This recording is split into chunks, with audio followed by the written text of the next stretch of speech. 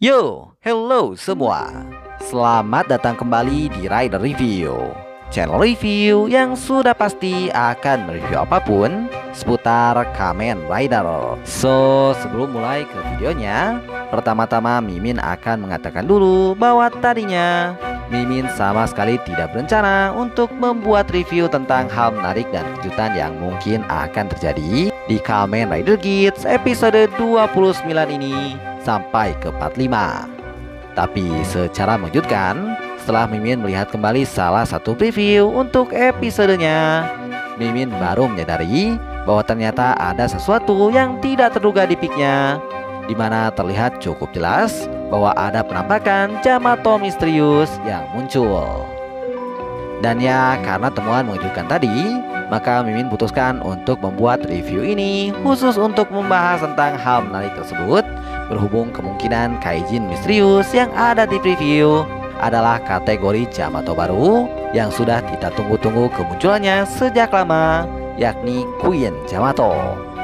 Well, tanpa perlu buang-buang waktu lagi, Mimin rasa mari kita mulai saja review kali ini dengan satu kalimat Ready to review Pertama, penampakan Jamato misterius Yap, sesuai yang Mimin katakan sebelumnya Di salah satu preview untuk Kamen Rider Kids episode 29 Terdapat penampakan mengejutkan dari seorang Jamato misterius yang terlihat sedang bertarung melawan Kamen Rider Kid Laser Buswolf. Well ya, jujur saja, awalnya Mimin mengira kalau yang dilawan Giz itu adalah Rook Jamato. Tapi setelah dilihat kembali secara lebih teliti, Mimin baru menyadari kalau ternyata bentuk tubuh dan ornamen yang ada di Jamato tersebut sepenuhnya sangat berbeda dengan Rook Jamato dan bahkan jika dibandingkan dengan semua Jamato yang sudah muncul sejauh ini di series Kids, tidak ada satupun yang mirip dengan Jamato yang ada di preview.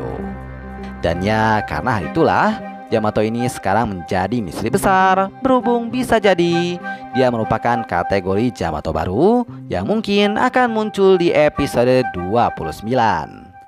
By the way, penampakan dari Jamato misterius ini sebenarnya untuk sekarang masih belum terlalu terlihat jelas. Tapi yang pasti, dia memiliki warna dominan ungu, memiliki duri di badannya, dan memegang semacam senjata personal. Ya, untuk lebih jelasnya lagi, kita sepertinya masih harus menunggu episode 29 tayang nanti.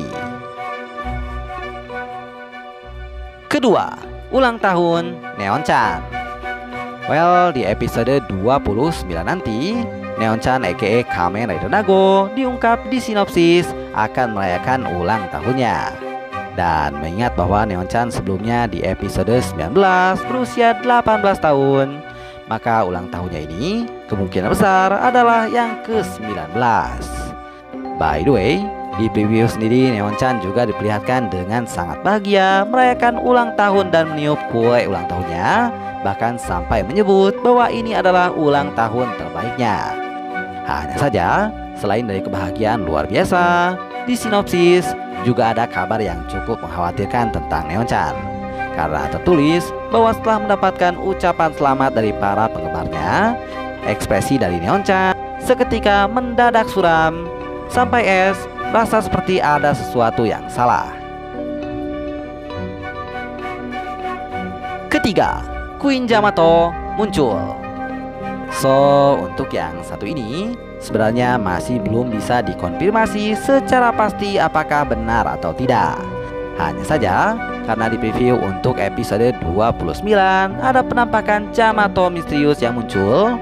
Jadi mungkin saja kalau itu adalah kategori Queen Jamato yang selama ini sudah kita tunggu-tunggu kehadirannya di series Kid.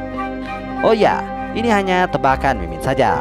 Tapi berhubung pion queen di permainan catur memiliki gerakan yang sama persis seperti rook dan bishop, Kepikiran apakah Queen Jamato merupakan fusion antara rook Jamato dan bishop Jamato.